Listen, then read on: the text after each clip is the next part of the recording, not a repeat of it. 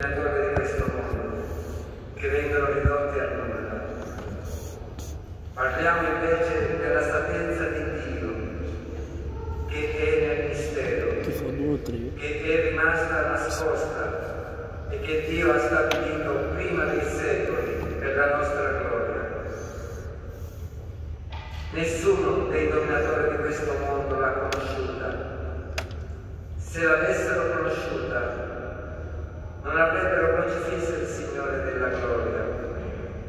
Ma, come sta scritto, quelle cose che occhio non vide, né orecchio udì, né mai entrarono in cuore di uomo, Dio le ha preparate per coloro che lo amano.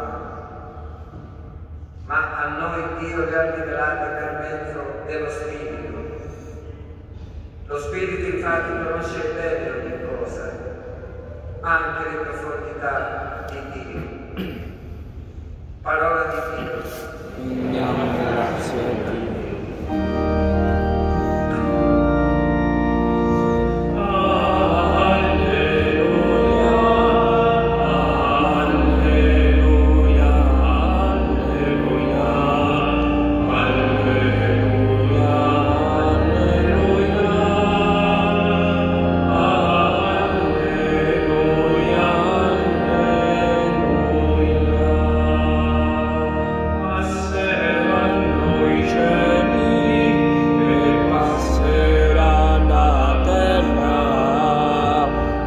sua parola non passerà.